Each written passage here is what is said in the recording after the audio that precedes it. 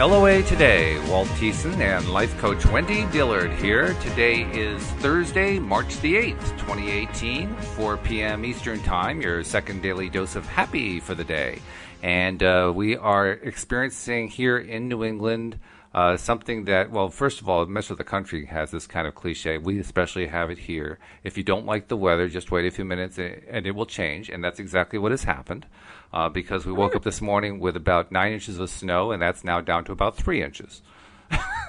wow, I guess the sun must be out. Actually, not. It's just warm. It, it, it was cold, oh. it snowed, and it warmed up, and it's like it, it's like you, you saw it pile up, and then you saw it pile down. like, whoa, this is weird. it was one of those snows where uh, if you go out and you start, you know, pushing the snow off of the roof of the car, you, you push a little bit and everything fl- flies off because it's all sticking together and it's all sliding on the roof. You know? it was it, it's a weird snow, yeah, but it it was nice while I was here. it's just disappearing really fast. That's all. Let, us put it this way: it's disappearing so fast. Louise is not going to have a chance to get her skis on. That's how fast it's going away. Oh, oh, that's a bummer. Well, yes and no. She's decided that she's done with skiing for the year. She she wanted the snow okay. because she likes how pretty it is but she's done with skiing for the year, and and uh, she told me she she needs to uh, do some more working out and get in better shape so she can really do it for longer periods of time, and so that's the goal during the summer is going to be to get in better shape so that next year she can ski longer. Hey, it's nice to have a long term goal. It is. It's a good one, and she feels good about it, which is probably going to make it likely that it'll actually happen. Very so, nice. Yeah. So, hey, Walt, do you have any wins for today? I have a, a, weird win. I've been talking the last few days about how I had this little list, this list of niggly little things that had to be done that just kept hanging on, and that they had to be, they were in the way. I I couldn't get to doing the editing of the book. I couldn't get to other stuff I wanted to get to until this niggly list got out of the way.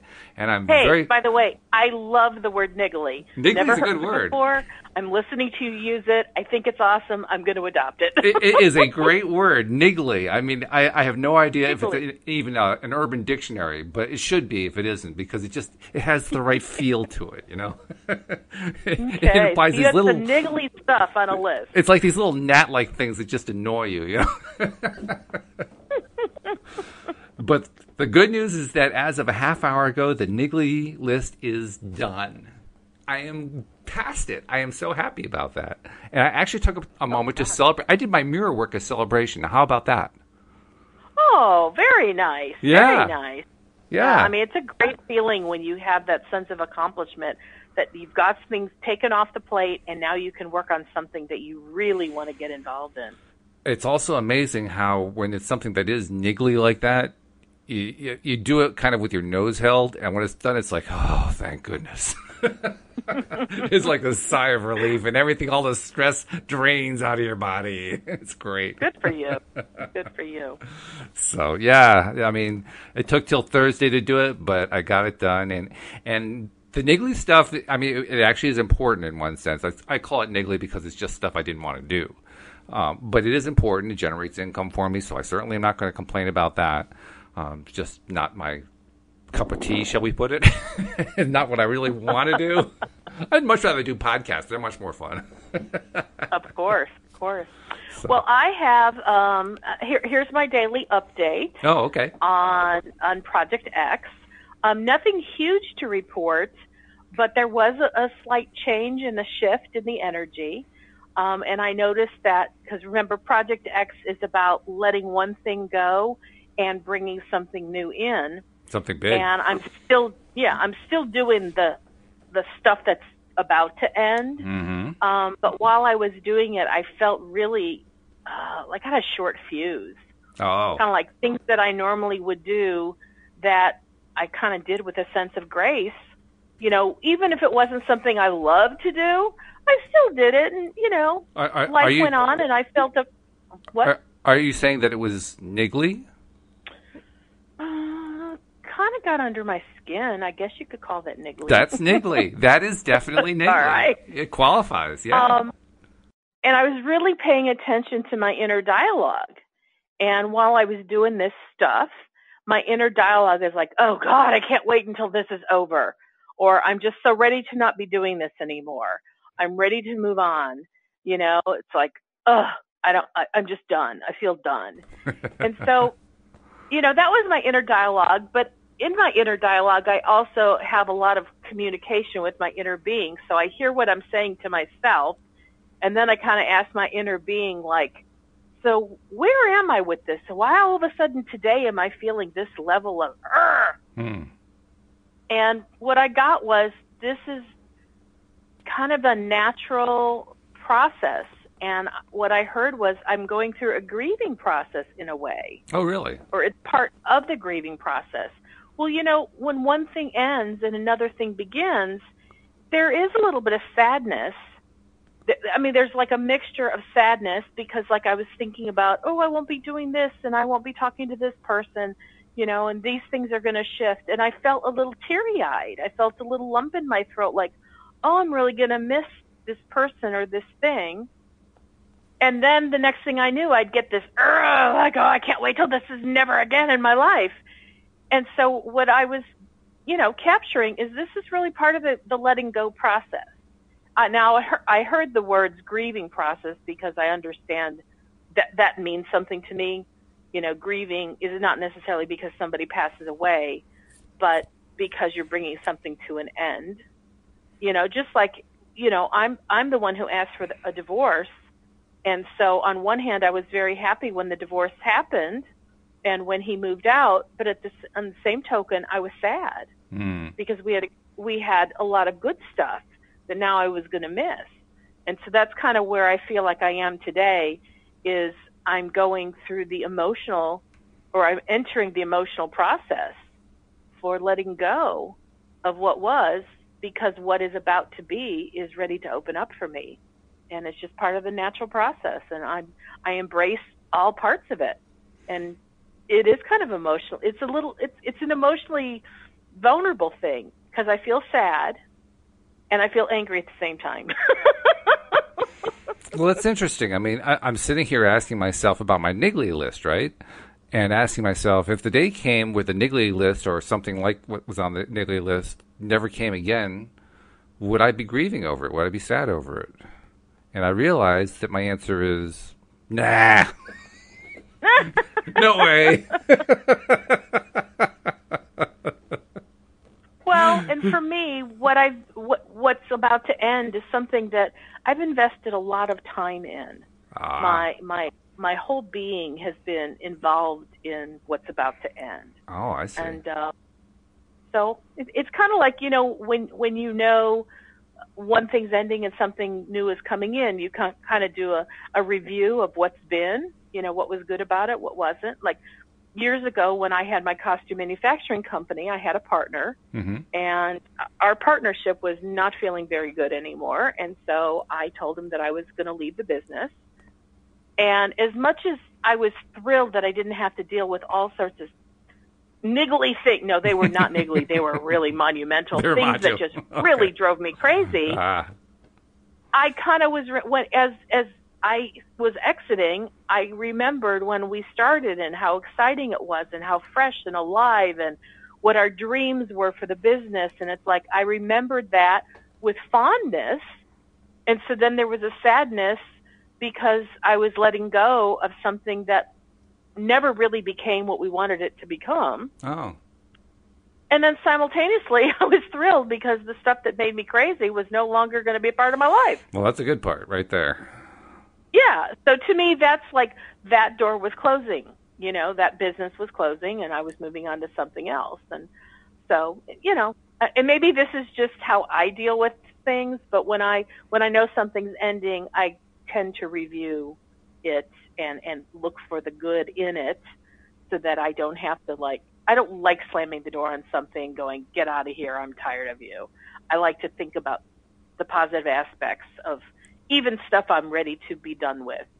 Um, because I know that for me, I've outgrown where I am. It was a good match for me while it was here, but I've evolved, I've changed, and now it doesn't match me like it did when it was first in my life So it's time to move on. It, it kind of reminds me what you were describing there of a uh, a scene from a British television show that my wife and I have often liked to watch called As Time Goes By. In this particular scene, there, there are two characters. One is Lionel, who's kind of a, an old curmudgeon, and the other is Sandy, who's the uh, uh, secretary of um, Lionel's wife. And, and she has a secretarial business. And Sandy is always the very positive and, and looking on the bright side kind of person without being quite the Pollyanna you are, but she still has a very positive um, outlook on things. And there, she's helping him move out of his flat because he's getting together to actually live with the woman he's going to eventually marry, Jean. And as they've moved everything out and they're kind of looking around, Sandy says, "You know, when I left my last flat, I said, I, I, turned to the flat, looked around, and said, "Goodbye, little flat." Just kind of, you know, sadly. And Lionel says, "Well, I won't be doing that." uh, well, I will probably say goodbye, little flat.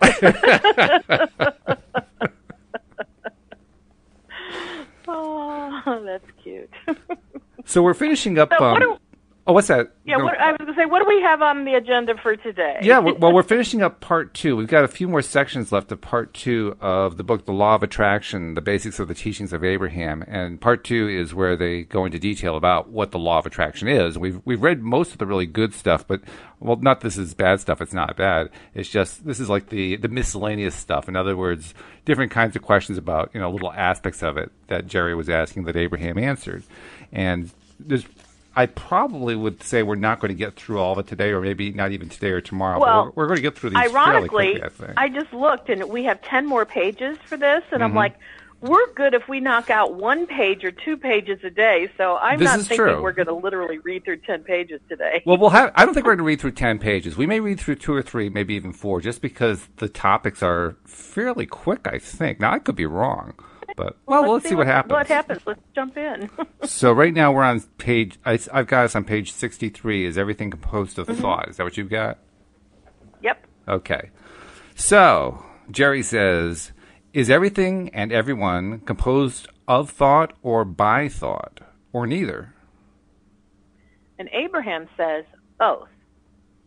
Thought can be attracted by other thoughts through the power of the law of attraction. Thought is the vibration that the law of attraction is acting upon. Thought is the stuff. I love that. That's one of those technical terms I use a lot. Stuff. stuff. Thought is the stuff or manifestation, and it is also the vehicle through which all things are, cre- are attracted or created. I'm going to read that again. Thought is the stuff or the manifestation, and is also the vehicle through which all things are created or attracted. That's quite a concept there. See, Thought is the manifestation in some cases. Thought is the manifestation. So thought is the. So I'm going to add some words. Thought is both the stuff and or the manifestation. Yeah. And it's also the vehicle. So thought is also the vehicle through which all things are attracted or created. Pretty important stuff. This thought. well, and you know what's interesting is um, what I'm about to say has only been in my awareness for less than a year, which is that thought itself, when you receive a thought, that is actually part of manifestation process. So when I heard that, I went, what the heck do you do with that? And so I've had to come to an understanding that there are thoughts that we think because we're thinking them. Like we're thinking about stuff or, you know, let, let's say I'm hungry and I'm thinking about dinner. So, you know, my stomach triggered the hunger and then the hunger caused me to think about dinner and what's in my refrigerator. All of that thought is just me thinking. That's Wendy thinking. I've initiated the thought. But then there's also a different kind of thought, which is the kind that comes sort of out of the blue, where you weren't thinking it. There was nothing that triggered you to think a thought but a thought just came to you. And that is what Abraham calls receiving a thought. And when you receive a thought, that is actually part of the manifestation process. Yeah, that's interesting. It's interesting to me on two levels. One, because of the role it plays in the manifestation process, but two, because I'm still at times a little confused about a thought that I, I have and uh, asking myself, is it one that I originated or did it just come to me out of some who knows where? And often I, I can now tell the difference, but sometimes it's like, I'm not sure which it was. well, and you know, honestly, I don't know how essentially important it is to actually identify it. Maybe. I think it's fun to identify. Um, when I absolutely know I received a thought because I was not thinking this before, but all of a sudden this thought popped in out of the blue, that one, that I label, I received a thought. And oftentimes I'm able to tell, oh, this is part of something that I have been desiring to manifest. So this must be part of the manifestation process. And the reason why that's significant to me is because, you know, manifestation always starts with a thought or a desire. And sometimes we don't see the three dimensional manifestation for quite some time. Yes. Sometimes it's short, but sometimes it's a long time. And why understanding that a thought is part of manifestation, why that's important to me is because a thought is tangible. Now, granted, it's not the same thing as holding something in my hand that is a three-dimensional object or being or driving a new car that that's obviously tangible. But a thought to me is tangible because one minute you don't have the thought and then the next minute you do. Okay. And so knowing that that's part of manifestation gives me incredible hope in recognizing that the three-dimensional form is going to show up soon that it's on its way, that I've begun the actual three dimensional part of the manifestation. Hmm. Okay. Well, I, I can kind of uh, identify with that. I think. I guess the only reason I believe that it, it has some importance to know whether or not I originated or it just came to me is that I'm still trying to learn the communication with inner being.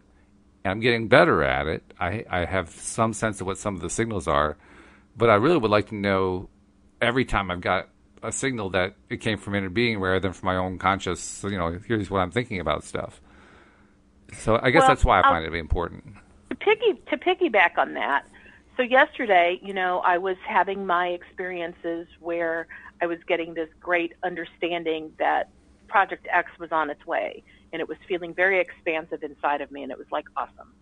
So anyway, I was sitting at my computer and doing work. And then I was like, oh, I, I'm all out of my drink. So I decided to walk down the stairs to the kitchen to go get some water.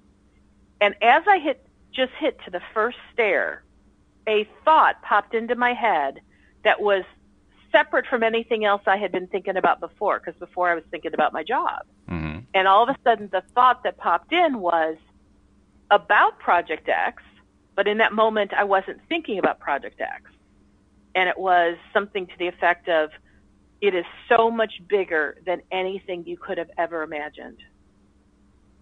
And that's when I remember telling you that like everything in me just broke up into tears and I was filled with excitement and it was like, oh my God, it felt so spontaneous. The tears were spontaneous and it showed up almost, almost at the exact same time. This thought popped into my head that Project X is so much bigger than I would have ever imagined. So that to me was a knowing that one that came, that thought came from my inner being. I received that thought because it wasn't something I was thinking about for the moments or even you know maybe 30 minutes before. Mm-hmm. And the second thing is that it, it was another piece of evidence to me that the manifestation is on its way. So the combination of the context and the extension of, of evidentiary nature, the fact that there is an evidentiary nature to it that you hadn't previously considered. Correct. Okay. Well, that makes sense so, because I think when I've on those occasions where I have realized that I did have some sort of signal that I was receiving, and you know, it kind of broke through my rather thick fog that this was not a thought I had originated you're right. I tend to do stuff like that. I'll I'll tend to ask myself, well, you know, what was I thinking about before that? And if I can't think of anything I was thinking about before that, then Yeah, I guess, you know, by process of elimination, that's got to be something that came from somewhere else. Okay, I'll buy that. So here's the, the rub, or, or actually the good thing. So what's the harm in believing that you received a thought and that it's part of the manifestation process? Is there any downside in that? that you mm, not of? that I can think of. No, not in terms of the manifestation process. And so, what if it really wasn't a received thought?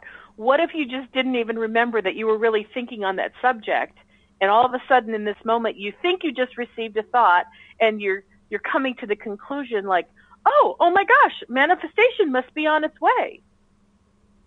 The way I look at it, I think you've probably just caused manifestation to start moving quicker because you got excited about it and you're feeling it. True. There's still the niggly part of no me, though. the, the niggly part of me wants to know. it's like the you National Enquirer, you know. and, and it's it's good to. I, I agree with you. It is good to want to know, and there are sometimes we can never be absolutely certain.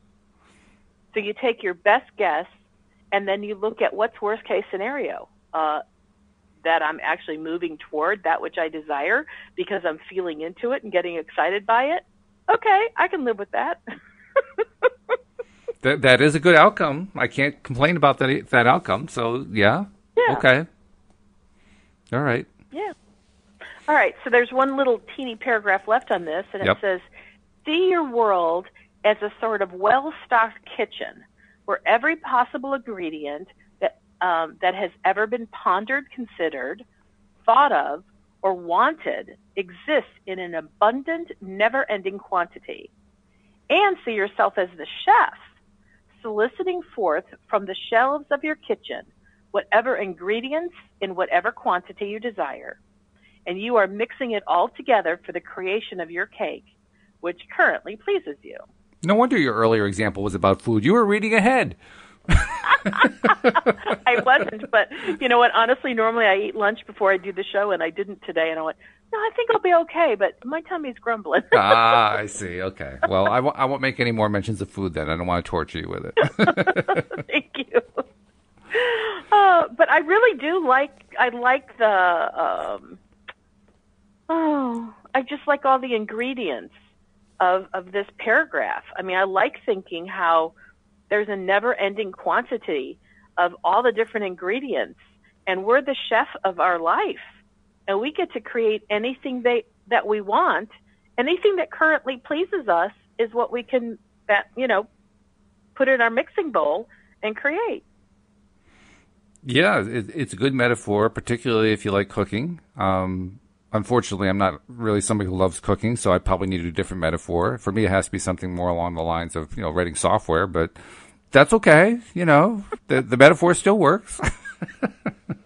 I'm just being niggly. Well, that's all. You know, well, I, and I I've done some oil painting, and I have to tell you that I love getting all the different um, tools and paints um, to paint with because it, it's like when I sit down to paint and I have a blank canvas and I look at all the variety of paints I have and I have a huge variety of different brushes and it's like, it is fun to know that I can do anything I want. I have so many choices and I can mix up what's on the, the canvas in any way I want. And something I also learned about oil painting, which I think is really fun, is it's um, it, there's a style called wet on wet, okay, which is where you paint, you know, paint oil paints, which by the way are wet in the very nature of them. Mm-hmm. And if you don't add this little ingredient to it to help it dry quicker, it might take three weeks for it to dry.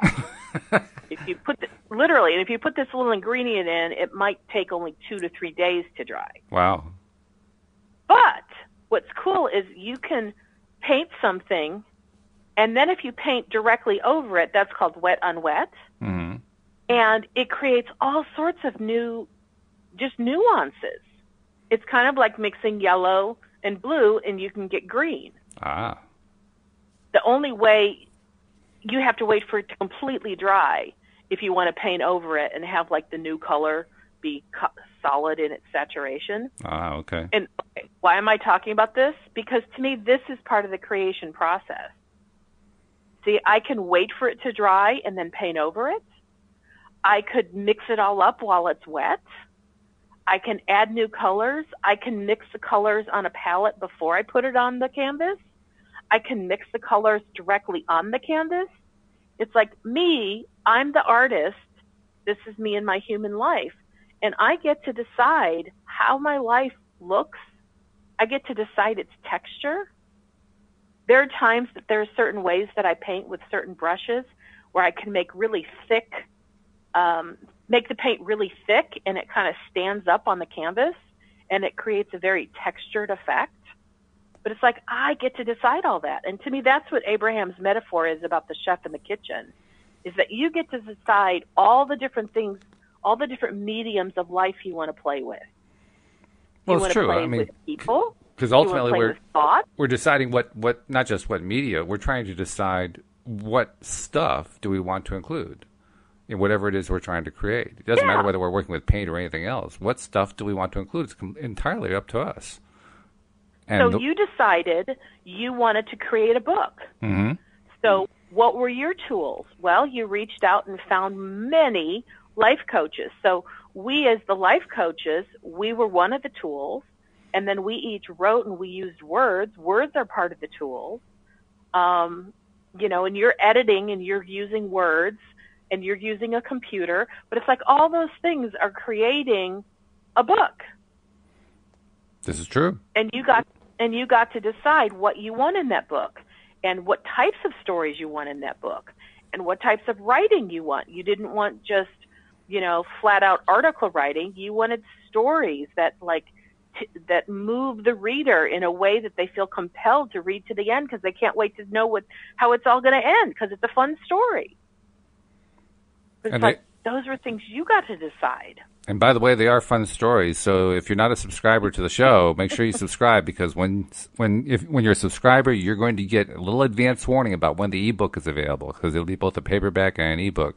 And for a short period of time, to listeners of the show, the ebook is going to be available for like a two or three day period for free. So enough said. So, you know, the title of this is, is Everything Composed of Thought.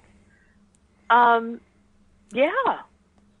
Because we think thoughts and they become things. That about And all of life it. is, all of lo- all of life is composed um, initially of thought.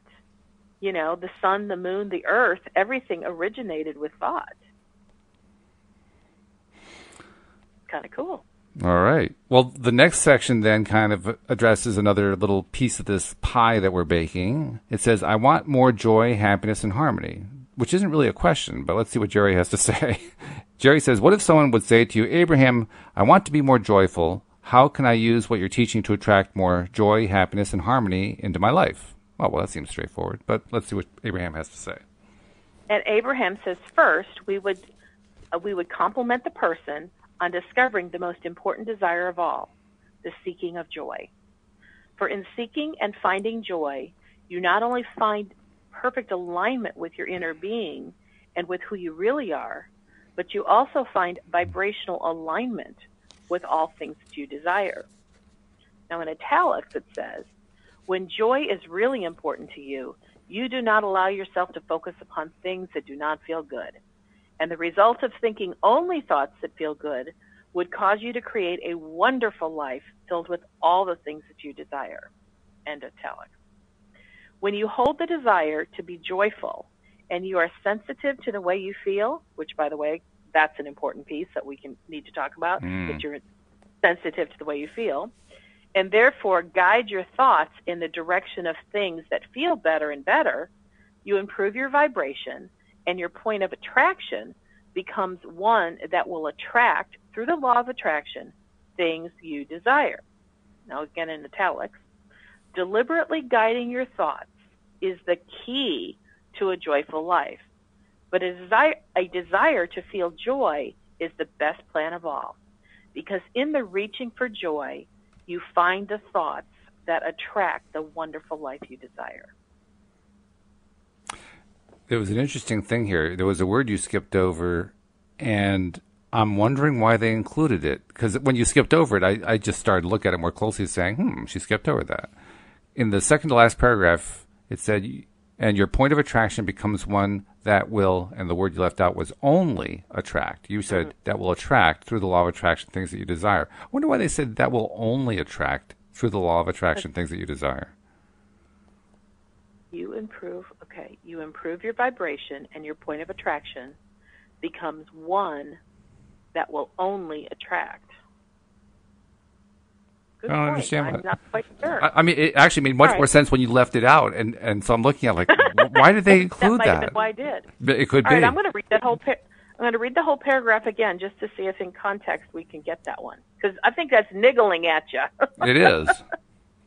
okay, when you hold the desire to be joyful and you are sensitive to the way you feel, and therefore guide your thoughts in the direction of things that feel better and better, you improve your vibration, and your point of attraction becomes one that will only attract through the law of attraction things that you desire. Oh, I get it. Okay. The only refers to attracting only things that are joyful because those yeah, those yeah, are the things that you that's what I desire. Ah, all right, got it. Okay. Well, it's a small point, but it's still useful. Okay. So, you know, it says when you hold the desire to be joyful, that's what this is about. Yes. Then, when, when you're really focused on being joyful, that becomes your point of attraction, and then therefore that becomes the only thing that law of attraction brings to you, which is the things you desire. Well, I can certainly resonate with what's saying here because um, once I understood that, I mean, first I understood just the basics, like they taught you in the movie The Secret, right? You know, ask, receive, believe, all that. But stuff wasn't always uh, showing up, so I wanted to know why. So the next question was, well, what is what's causing stuff not to show up? And that's when I finally ran into the concept of resistance and allowing, actually, being related to what, what I'm resisting, and the resisting is why I'm not allowing, and wondering where the off switch was for the resistance and so forth. Well, as I went through all of that, I finally got to the point where I said to myself, well, if I need to constantly be you know monitoring my thoughts and constantly figuring out what what where my resistances are and so forth, I'm probably going to go crazy. And then I picked up the concept, well all you have to do is just stay in alignment. Well, how do you stay in alignment? Well, that's being joyful. Oh. So the whole solution is just to stay in a state of joy. Well, shoot, that's my goal. I'm done. Here we go. But isn't it kind of fun, the long journey that you went through in order to arrive upon that understanding? That's a very charitable way of look at it, looking at it. For me, it was tortuous. Going Oh. through all that at the time, I mean, now it is. Now it's fine. But when I first went through it, I mean, I was I was lost to a large extent, trying to figure out what the heck is going on here. And I came real close to throwing this whole thing out, saying this stuff doesn't work, like so many other people had said. But there was just a piece of me that was saying, no, no, no, stick with it, stick with it. And so I stuck with it. I'm still not sure why, but I did. And when I got to the point where it said, well, you just want to be in alignment, that means just being joyful, then it was a relief. It wasn't that I enjoyed the process so much, but it was a real relief when I got there. Like, oh, okay, I can do this. I can handle that. Now all I have to do is figure out how to get to joyful. So each step along, this is how I see it. Each step along the way, you were experiencing something that you didn't really like, and it caused you to have this angst, like this isn't quite it. Oh, I want something different. Very much didn't But like that it. caused, but it caused you to ask new questions, whether conscious questions or unconscious questions. It was causing you to expand, and bottom line, it was leading you toward more clarity because every time you hit a different level, you understood something a little bit more, but that still wasn't satisfying. hmm So you had more questions like, how do I get to greater satisfaction? Now you might not have been using those words, but it sounds like that's, That's what, what it was, aiming though. for. Yeah, oh yeah, that was definitely it. And so you were doing what I call following the breadcrumb trail. Yes. You know, it's like each thing caused you to be in a different place. You gathered some new information, you asked some new questions, but you still wanted more, and then you kind of kept going and going until you landed on something that felt really good to you, and you went, "Oh, okay, let's let's work for joy. Joy is a cool thing. I I I want that. Yay!" And joy felt a lot more. Um, what's the word I'm looking for? Attainable. Joyful. It felt more. it, well, it did feel that. Yes, true. Uh, but it also felt more attainable because I, I had experienced joy before, so I knew I could reach that one. I wasn't sure at the time exactly how to do it because I was nowhere near a joyful state. But that one I knew was possible. It became an achievable, attainable, possible goal to reach. And whether or not law of attraction was going to lead me there, I didn't know. But I knew what it was like to be there, so I figured I could get there somehow. That felt better. Because remember, I, when, when well, I'm going through all this, I and, and when you're when you're going through this book for the first time, most often you're in relatively a beginner stage. In my case, actually, when I read this book, it was a little bit later on, but nevertheless, I was going through the concepts, even though I wasn't reading it out of the book. I was doing it kind of helter skelter, willy nilly, but I was working through the concepts. And when you're going through those concepts for the first time, you don't have a high level of belief yet. You don't have a whole lot of confidence in how law of attraction is supposed to work yet. I mean, yeah, you know the theory, but in practice, it's like, I'm not so sure about this stuff. This sounds like a bunch of nonsense to me. Well, that's where I was at going well, for it. That's why I was so uncomfortable. And that, and that's an excellent point that it, you knew it in theory or understood it in theory, but it hadn't become real to you or right. alive to you because you hadn't experienced it yet. Exactly. Yeah. And you know, one of the things I love that Abraham says is that only life experience teaches. That's Words right. Don't. It's true. And then That's they true. go on to say, it's so ironic that we use so many words yes. because only experience is what teaches you. Living life is what teaches. But, you know, in, in the case of like reading a book, you read a book and you get a foundation of a whole bunch of principles or ideas, but then you go out and you live life and some of those things all of a sudden uh, connect like living the life connects to things that you just read. And you went, oh, this is what this means. Mm-hmm. Yeah, there were a and lot of aha moments. moments. Right. Yeah. Yeah. You know, and so I kind of look at like any kind of self help reading is I'm not going to know what to do with it all just because I read the book. It's the going out and living life that helps you to like make sense of what you just read. Right. Yes. Yeah. Without that, you're you're just spinning your wheels, really. Cause, well, and the one sentence I said I wanted to address a little bit yep. was the piece about you have. Um, it says when you hold the desire to be joyful, and you are sensitive to the way you feel. Yes. I'll tell you what, sensitivity to how you feel is one of the most paramount parts of really being able to utilize law of attraction in a way of being a deliberate creator. Mm-hmm because when you're not sensitive to the way you feel, you're kind of all over the map. I think that's one of the reasons why there are more women who latch on to LOA than men. Because men are taught to bury feelings from a very early age. So it, it is a bit of a struggle at first. You're trying to kind of, in a sense, reconnect the feelings that have always been there, but you've been repressing them for so long that you almost forgot they were there. That's that is kind well, of tough. Know, and and I don't know that I necessarily agree it's a men women thing because I was definitely taught not to feel and so I didn't. Okay, well maybe not. Um, but I will say this that like many a client, the first thing we start to work on has to do with identifying feelings. Mm-hmm. And the reason for that is because I can say, you know, I, I, I can give them all sorts of principles, but it won't become alive to somebody until they can start to self-identify which direction they're moving. Are they moving toward their desired goal or away from their desired goal? Yeah, good point. Well, they're not going to know that unless they know how they feel because right. resistance always has um, an emotional component that does not feel good to you. So you have to be able to identify does this thing we're talking about feel good to you or does it not feel good to you? And I've had many a client, they're like, well, I don't know. I'm like, well, do you want it? And they're like, yes. I said, okay. So it's definitely in the positive realm. What does that feel like? I don't know. what are you feeling right now? I don't know. And I'm like, okay. And I mean, sometimes I've had to get very elementary, and I don't mind because we are where we are. Um, and just starting with can you feel anything in your body? Um, I'm not sure. Okay. And I'll say, you know, pinch your arm. Can you feel you pinching? Yeah, I feel that. Okay, that's a feeling. and you know, I said that's a tactile sensation feeling, but I said we have feelings in our body all the time, and it's like people haven't always known how to make a connection to a, a feeling within their body and a thought they're thinking, and that's what I'm trying to make the connection because when Abraham says you you know it's important to be sensitive to how you feel, well, it's one thing to feel, but it's another thing to connect it to the thought. It is, and and even more than otherwise that, you don't know what. Otherwise, you don't know which way you're headed. That's true.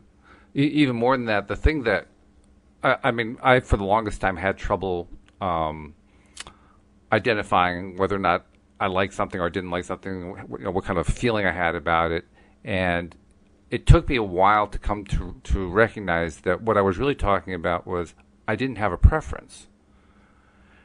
Mm. And when you don't have a preference, that's not that's actually a really bad place to be in. I didn't know that, but it's really a bad place to be in because without a preference, you can't feel. You got to have a preference in order to feel something. If you don't, if you don't have a preference, there's no difference. There's just no difference between well, A and B. So I'd say if you don't have a preference, then the feeling is probably what I would label neutral. It's not always. That's what I found. That's what that, that's why I'm bringing up this point because it isn't. In fact, often it is not neutral. Often we've made it neutral because we're you know acceding to uh, cultural beliefs or we're you know we had a bad experience with what we really wanted, so we, we don't dare go there. Or you know there's a whole host of, of possible reasons why we choose the the safer. I don't have a preference position, and we're so, we're, we're, often so, doing it in a way that we aren't even aware of it which makes it even more. But explain that to me. That's not making sense to me yet. Explain okay. how you can have eh, be in a state of no preference and have it not be neutral. If you are, if you actually do have a preference, but it is buried, you don't know that you have a preference. Ah, so what you just said is because this is different. Is you're not aware of your preference, well, but it's not that you don't have a preference as far as I know, if I don't if I don't feel the preference, if I don't have a sense of what the preference is, then I don't have a preference. That's the way it seems to me anyway when I'm in that that place. Now, yes, from a broader perspective, I see it the way you're saying that. Yeah, there really is a preference, but it's buried. But when you're in that moment, it feels like you don't have a preference. Okay. So in the moment, it feels neutral. Yeah. And what I've learned okay. is that it actually pays off to if if you have no other way to make a decision, make one arbitrarily. Flip a coin so that you're the one making the preference. Because what that tends to do is it tends to get you back into the habit of having a preference. And when that happens, I find that the buried preferences start to emerge. It's almost like it's safe for them to come out and play or something. That makes sense. So, back to Abraham's point mm-hmm. that it's really important to to be sensitive to how you feel. It certainly is. Now, to me, that's like half a sentence. That was a phrase, and this whole book could just be. I mean, if you all you learned after reading this book was that it's important to be sensitive to how you feel, and then you figured out how to actually feel what you feel and be able to know what it is and mm-hmm. label it. Mm-hmm. That would be the this whole book would be worth it. And we know that there's like so many other things that are in this book. It's unreal. But from my experience, both for myself and working with others, learning how to be sensitive to how you feel and then to be able to recognize what you feel is really important as a deliberate creator. You really need to know yeah. how to identify how you feel. Especially if you want to do it to any any more advanced level than what the secret teaches you, you have to. You're right. It's a it's, it's a necessity because otherwise you'll well, get you lost know, in the soup. Well, my whole project X is me getting what I would call hot and cold signals. Mm. If I get a signal that feels really exciting and juicy, I know I'm moving toward Project X. Mm-hmm. If I get a feeling that's really unpleasant and comfortable and I'm filled with doubt and concern and worry. Granted, I did just label them all, but they're all like, ugh, I don't like it. Well, in those moments, I'm not moving towards Project X. I'm Mhm. moving away from Project X. Good thing you haven't had a lot of those moments. Well, I've had some, Yeah, but not a but lot. I also know, point. but I also know that I've had so many more Yeah. feelings that were exuberant and wonderful that I knew that I created a ton of momentum Oh, yeah. toward Project Yeah, X. it's definitely outweighed, no doubt about it. But regardless, it's still important that I was able to recognize what I was feeling to know which way I was going. Because, you know, the other day I was feeling some really ugly, unpleasant feelings. And if I didn't know that having unpleasant feelings had anything to do with the creation process, I could have allowed myself to wallow there for a really long time. And then I might have actually begun to thwart the momentum of moving forward. I Yeah. might have actually started to slow down the train. Yeah, that's true. And I, I suspect we all do that a lot more than we realize. hmm Yeah.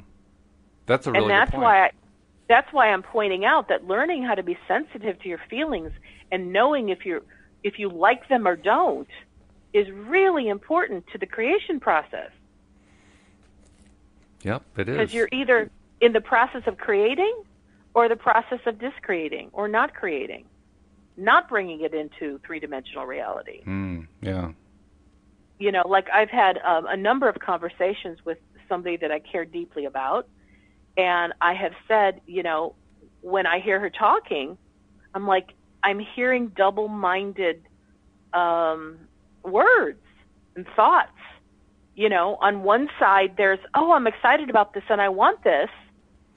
And then as soon as those words are put out into the atmosphere, there's, yeah, but, there, there's a great phrase, yeah, but, Mhm. blah, blah, blah, blah, blah. And I'm like, the law of attraction works based on how you feel, not your words, but your feelings. Mhm. And this particular person is very expressive, and when she says something, she feels it very deeply. And so when she's expressing her excitement and exuberance for something, it's palatable. You can feel it. And then when she throws the yeah, but, you feel that side of it too. And I've often said, you know, okay, look at it from law of attraction perspective. Law of attraction wants to match you up with what you feel. Well, what's supposed to, what is law of attraction supposed to receive from your broadcast? It's stop, start, stop, start, stop, start. I love it. I hate it. I love it. I hate it. I want it. I'm worried about it. I want it, but what if it can't happen? And that's something that I think many people, including myself, have done without recognizing what they're really doing. They're not recognizing that they're actually broadcasting a very mixed message, one that really has zero traction and it can't build momentum. It's a wonder. if you look at, I like to, it- go it- it's a wonder that we don't strip our own transmission, so so to speak. Because we just keep stopping and starting and stopping and starting, and you know, okay, put it in a gear, take out a gear, put it in a gear, take it in a gear. It's like, oh, geez, will you please make Oh, up your mind? that's a great metaphor. That's exactly. It's like if you're at the starting line and you're needing to travel one mile in a straight line, and you put it in gear and put it in drive, and then you slam the brake and you put it in park, and you put it in drive, and then you slam the brake and put it in park, you're not going to get anywhere. Well, not only that, when you take it into the mechanic, the mechanic's going to look it over and say, "How have you been driving this thing?" Um, no, I'm really not. I'm just sitting here playing with the gears, going, "Look, forward, back, forward, back, forward, back." but you know, that's that's oftentimes I think what we do without awareness when we have the yeah but syndrome. You know, we love the idea of something, we talk about it, exciting to us, and then heaven forbid we go into yeah but and then we think of all the reasons why it couldn't happen shouldn't happen hasn't happened or why the worst thing that happens you know has happened to this person that person or whatever. And now you you know you've completely talked yourself out of the possibility of that which you really desire and it, it's not like the law of attraction ever is confused the law of attraction is simply reading and feeling the broadcast. And if you broadcast one thing and then change your mind and broadcast something else, eventually you get nothing. Or whichever side of the equation you're actually a little bit more committed to in terms of how much airtime you're actually giving to it, that will determine whether something happens or doesn't happen. Or if it happens real slow. And you know what? I don't know many people who like their manifestations to happen slowly over time. No, not really.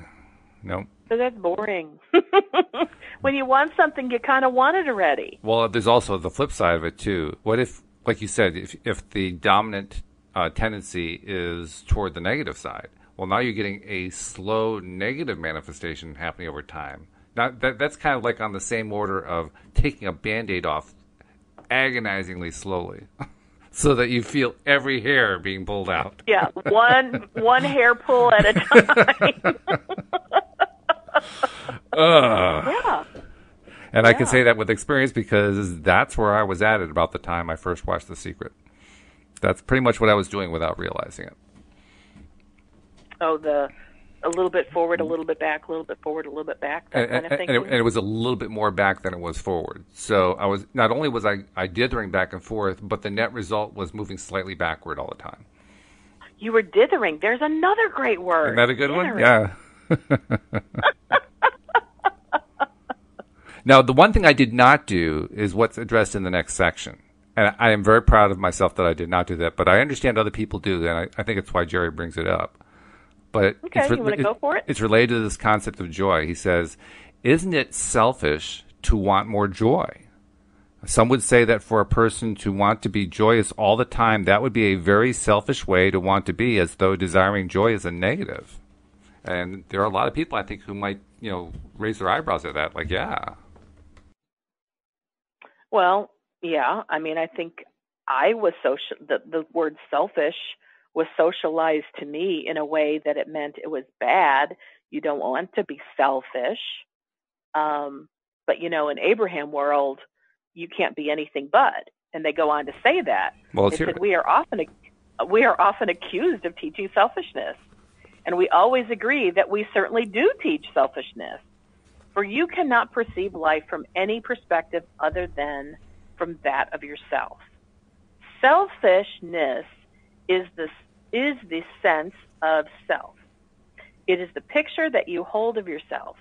Whether you're focusing upon yourself or another, you are always doing it from your selfish vitra- vibrational viewpoint. And whatever you are feeling, that is your point of attraction. So if so if from your perspective of self, you are focused in a way that you are feeling good, then your point of attraction is such that the things that you are attracting through law of attraction will please you when they get there. If, however, you are not selfish enough to insist upon focusing in a way that feels good, and you are focused upon something that feels bad, then your point of attraction is such that you're negatively attracting, and you will not like what is coming when it gets there. Unless you are selfish enough to care about how you feel and therefore direct your thoughts in such a way that you are allowing a true connection to your inner being, you have nothing to give any, another anyway. Everyone is selfish. It is not possible to be otherwise. And, and when I read that last line, I especially rejoiced because I've been teaching that to people before I even got involved with law of attraction for decades and getting a lot of pushback about it because that goes against a lot of what society believes. So society believes that it's actually better to help somebody else than it is to help yourself. There are a lot of people. There are an awful lot of people who get all worked up about people who do things for themselves rather than for others, and say, you know, you should be paying more attention to others. You you, you should be demonstrating that you care for others. That this is a really big issue. This is a big issue that Well- a lot of people have to deal with. and I think that really grows out of um, like this. This is an example um, where there's a parent and a child, and the child is off playing, and the parent says, "No, come in here and clean your room," and the child's like, "I really want to play." No, come in here and clean your room. Well, who's being selfish in that moment? Answer: Both of them. Both of them are. Yeah. The, chi- the child is saying, "I want to play," But that's not and the, the, way society saying, perceives it. "And I want you to clean your room." Yeah.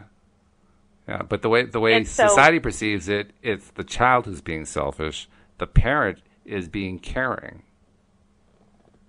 And yet, it really comes down to if the parent is saying, "Come and clean your room," because that's what would make the parent happy. Yes. Then the parent is actually doing it from their own selfish desire to feel happy. And now we get to the root of it. That's the real root of it right there. Yep. Because what really happens nine times out of ten when someone is pointing a finger and saying you should be behaving a, uh, in a different way because you're behaving too selfishly, if you really look for it, you can find where the person pointing that finger is saying you're not satisfying me. Exactly. But that is not how we predominantly learn about selfishness because most of the time we learn it when we're so little Yes. that we're not in our logical mind. We don't even have a logical mind created yet for us to think those kinds of thoughts. And so the idea is eventually the parent who's bigger and bolder and stronger kind of always wins, at least most of the time, unless you throw a tantrum, and even then they can still find a way to win. hmm Um, but then the child kind of gives up their knowingness that their selfishness was actually a good thing, and they give it up to make the parent happy. And so they've now traded what's important to them for what's important for their parent. And this is where our mixed training begins. In fact, this there the training ground for getting it screwed up. There are also a, a number of ways that the child can react. That is one way, and, and you're right, that is an excellent way that the child could react, an excellent description of a way that the child could react. Another way that the child could react is that the child learns that by producing behavior A, they get response B. And even if response B is a negative response, a, I don't want that response, maybe it's more response than they're getting in general from the parents. So they say, well, I'll just keep pushing button A, I'll keep getting response B. At least I'm getting some attention. There you go. Yeah. Yeah. So it shows up in a number of different ways, and it, it, it actually becomes quite destructive in the long run. Um, so I guess my point is, we as a society need to kind of reevaluate this whole thing about selfish and say, well, stop saying that selfish is somehow a bad word. It really isn't a bad word. It's actually a very good word. And and what is wrong is not when people are selfish, but when people accuse others of being selfish. There's almost always an ulterior motive going on that is not popping up to the surface. and I, I don't think there's anybody that I I know of that would disagree with the thing that they teach on the airlines when they say, you know, if we should lose oxygen pressure, you know, the mask will come out. Put it on yourself first, Right. and then put the mask on the child. Right. You know, and we all have we do understand that concept that if you're struggling to breathe because you're so busy trying to put it on the child, you may not ever get it completely on the child because you might be dead. And by the way, that But is a selfish motive.